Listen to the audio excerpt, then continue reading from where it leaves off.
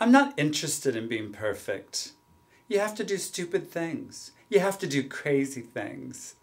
Drama sells, and nobody wants to watch Miss Perfect.